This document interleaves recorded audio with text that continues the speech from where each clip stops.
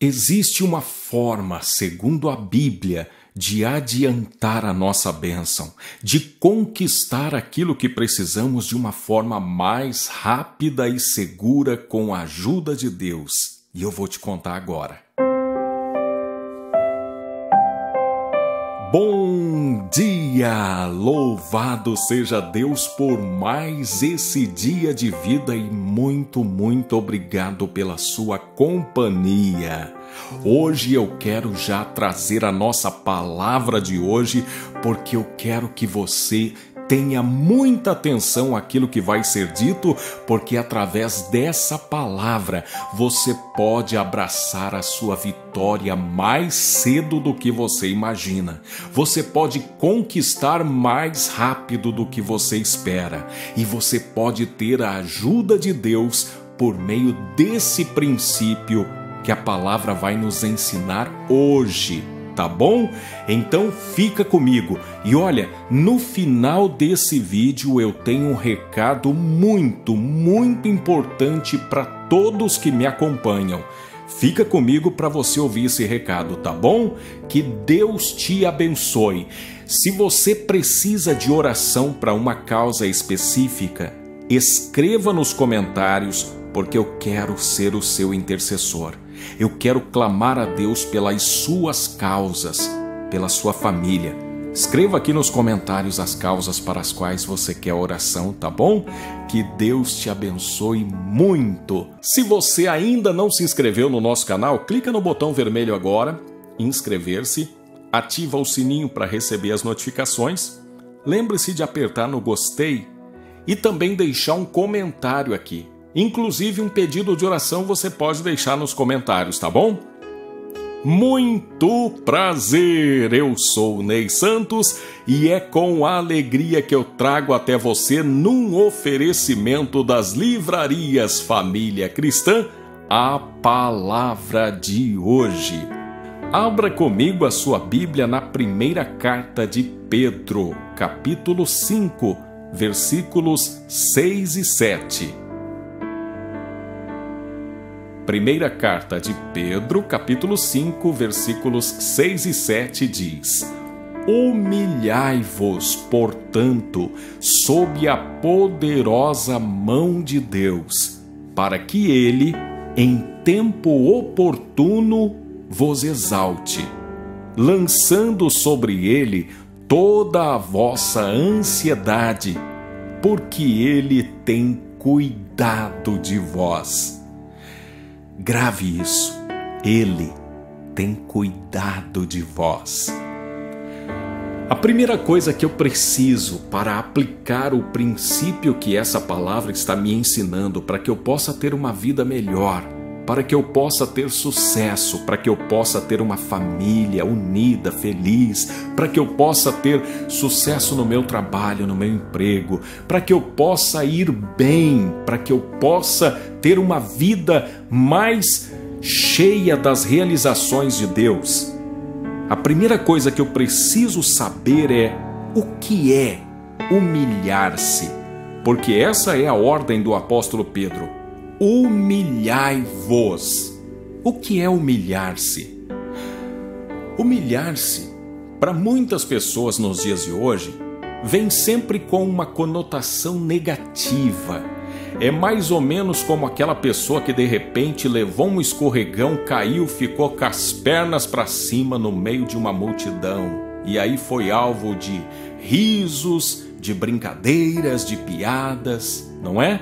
Uma pessoa que deixa cair alguma coisa no meio de todo mundo. Enfim, quando você passa uma situação desagradável, você passa por um vexame, para muita gente, humilhação ou humilhar-se tem apenas essa conotação negativa.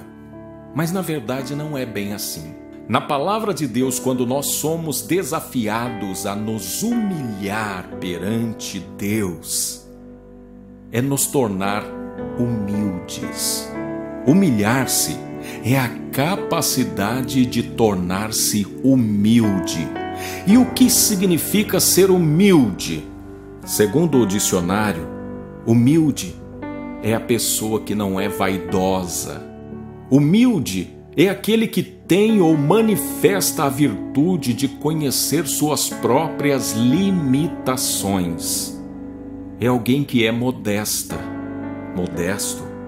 Humilde é aquele que expressa ou reflete deferência ou submissão. Aqui está a chave. Humilhar-se é se submeter. A palavra do apóstolo Pedro é: humilhai-vos,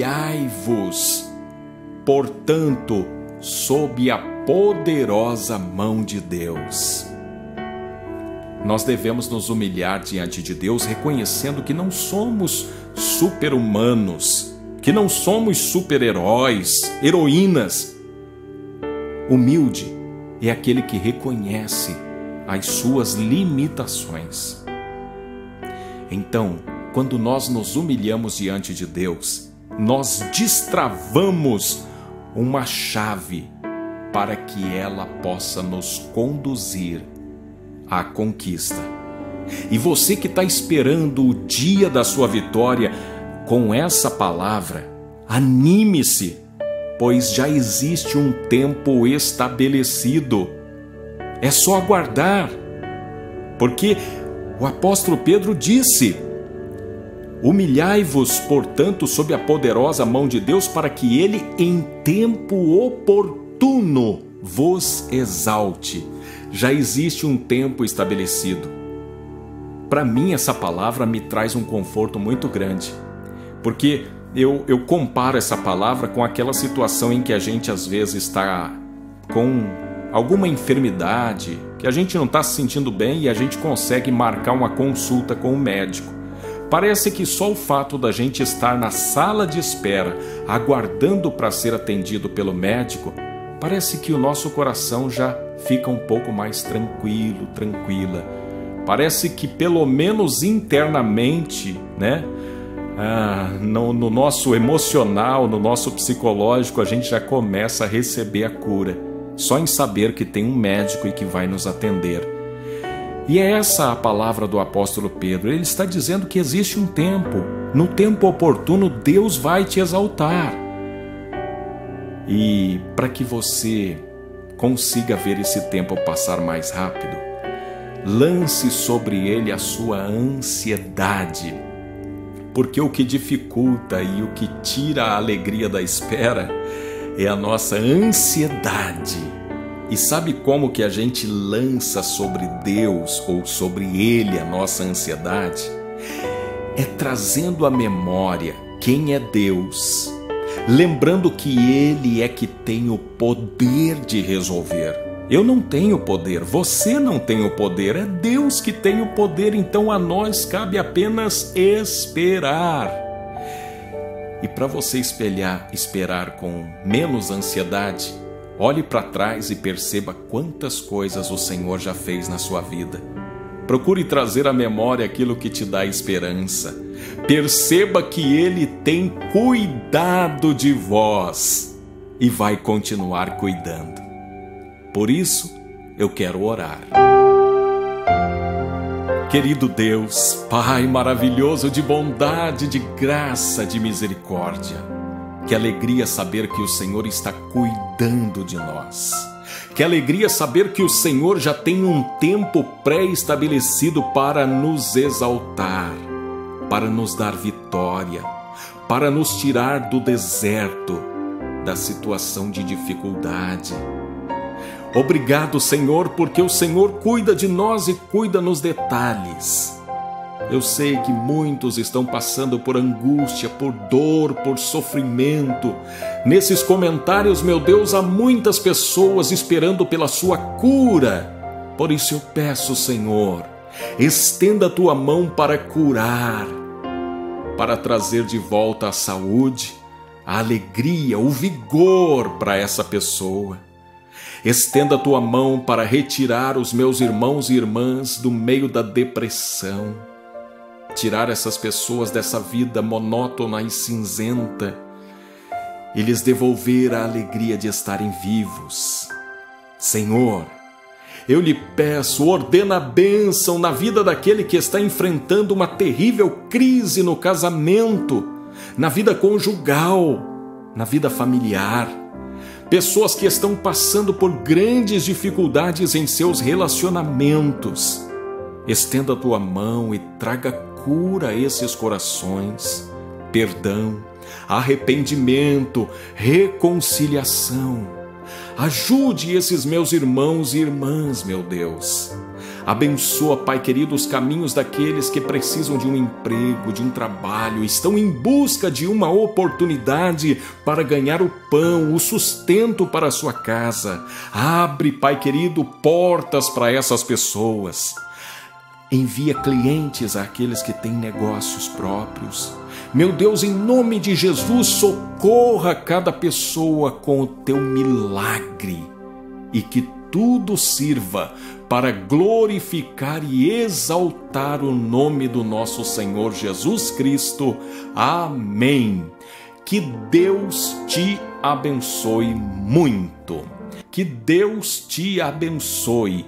Dá o seu joinha inscreva-se no canal e ative o sininho para você receber todas as notificações. E se eu puder contar com um favor muito precioso seu, me ajude a compartilhar essa palavra, divulga nos grupos, no Facebook, no WhatsApp e convide pessoas para acompanhar a nossa palavra de hoje.